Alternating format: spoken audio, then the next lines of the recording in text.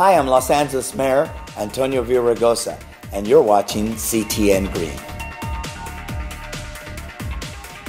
Hey everybody, this is Tamara Henry with CTN Green LA, catching up with Mayor Villaraigosa on this beautiful rainy day in February 2009. And we have some It is a breaking beautiful news. rainy day, It is, it is. And, and the sun shines not out because we're talking about a different kind of lighting today, right?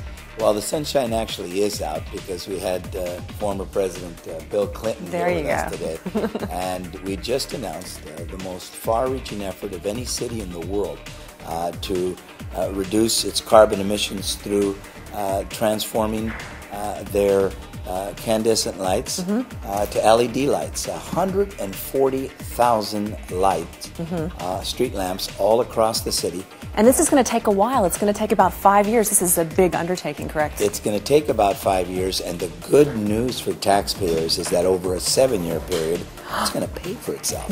About three and a half years ago, when I became mayor, I said uh, that this is the city with the dirtiest air in America, and we're going to be the cleanest, greenest big city in the United States of America. Our solar plan, Measure B, is the most far reaching of any uh, effort by any city anywhere in the world. Our Clean Air Action Plan at the port uh, is also the most far-reaching initiative to clean up a port uh, anywhere in the world.